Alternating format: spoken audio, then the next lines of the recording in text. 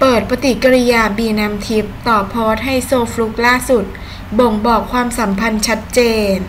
ถือเป็นประเด็นบันเทิงที่ยังเป็นที่จับตามอง หลังจากนักแสดงสาว บีน้ำทิพย์เจอกระแสดราม่าวิจารณ์หนักกรณีข่าวข่าวรักครั้งใหม่กับนักธุรกิจหนุ่มฟลุกชลัด ฝ่ายชายเพิ่งเลิกลากับภรรยาที่มีลูกน้อยด้วยกันสองคน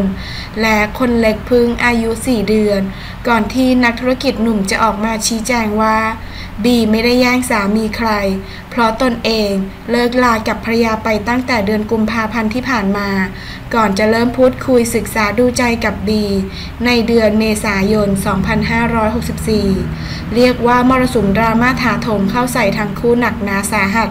จนหลายคนเริ่มหวั่นหวั่นว่า ความรักที่เพิ่งเปิดตัวศึกษาดูใจกัน จะไปถึงฝั่งฝันหรือไม่ เพราะหากย้อนไปดูบทสัมภาษณ์เก่าๆของสาวบี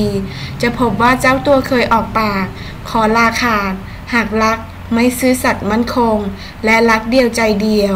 รวมทั้งหนุ่มฟลุกเองเคยออกปากผ่านสัมภาษณ์กับบอยช่องวัน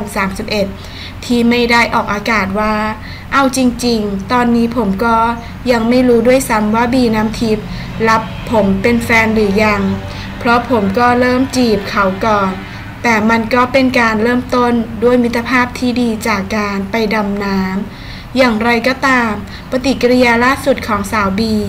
ต่อโพสต์ใหม่สดๆร้อนๆ ที่หนุ่มฟลุกชลัดโพสต์อินสตาแกรมอย่างภาพการแสดงความรักของคนเป็นพ่อต่อลูกสาวในงานวันเกิด ก็พอจะทำให้ใจชื้นขึ้น ได้ว่าความรักครั้งใหม่ครั้งนี้ ยังดำเนินต่อไป เพราะสาวบียังคงกดไลค์ให้กำลังใจเช่นเคย ไม่เปลี่ยนแปลง